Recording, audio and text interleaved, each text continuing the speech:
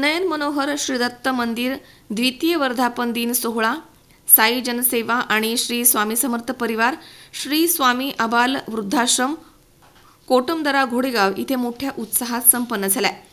सामूहिक संकल्प आणि गणेश पूजन श्री दत्त पादुका अभिषेक महाआरती हरिभक्त पारायण जगदळे महाराज यांचं प्रवचन यावेळी संपन्न झालंय.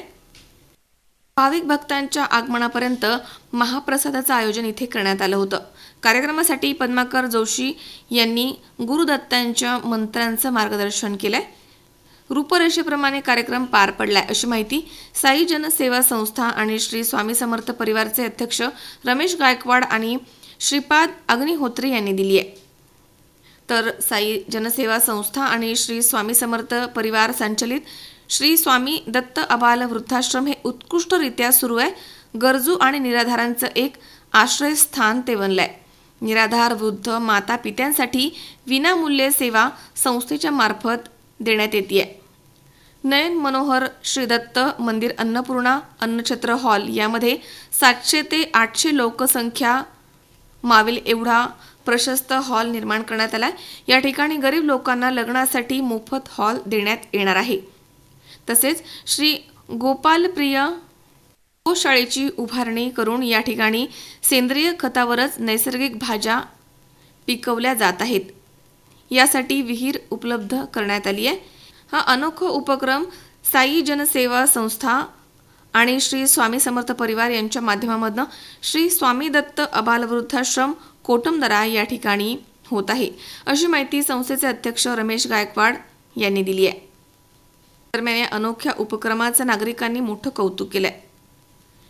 श्रीपाद अग्निहोत्री स्वामी दत्त आबालवृद्धाश्रम कोटमनरा तालुका आंबेगाव जिल्हा पुणे.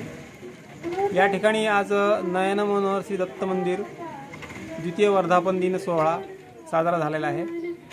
आज या कार्यक्रमानिमित्त या ठिकाणी विविध प्रकारचे कार्यक्रम आयोजित करण्यात आले होते.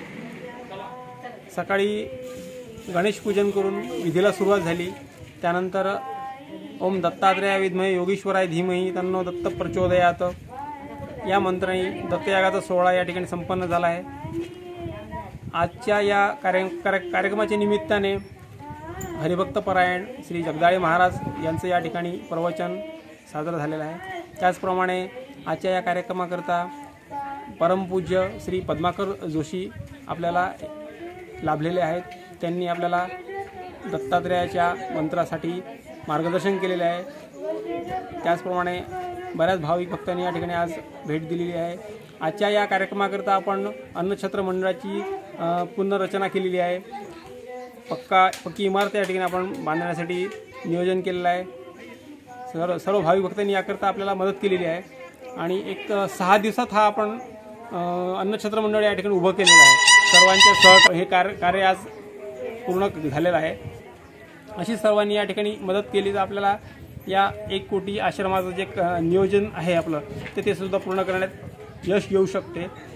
आणि सर्व साधकांनी या ठिकाणी या यावे दत्तात्रयांच्या मंदिरात दर्शन घ्यावे आणि या ठिकाणी वि- विविध प्रकारचे कार्यक्रम दरवर्षी आपण आयोजित करत असतो. सर्वांनी या कार्यक्रमाचा आनंद घ्यायचा आहे. धन्यवाद. मी रमेश नारायण गायकवाड.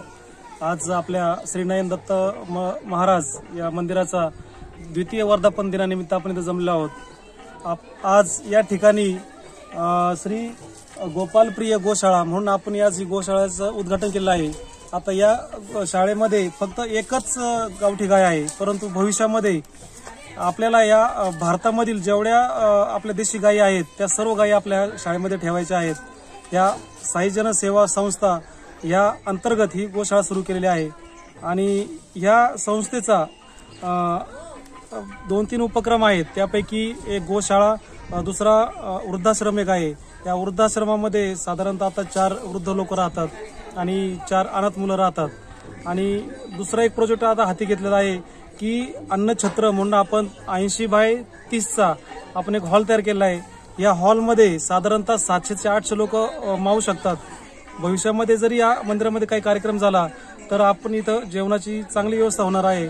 आणि आमच्या संस्थेच्या वतीने श्री स्वामी समर्थ परिवार आणि साई जनसेवा संस्था यांच्या वतीने विचार करून भविष्यामध्ये हा हॉल गरीब लोकांसाठी लग्नासाठी विनामूल्य आपण वापरण्यास देणार आहोत. तरी ज्यांना कुणाला याचा फायदा घ्यायचा आहे त्यांनी आमच्याशी संपर्क साधावा. किशोर वाघमारे सी चोवीस तास घोडेगाव पुणे.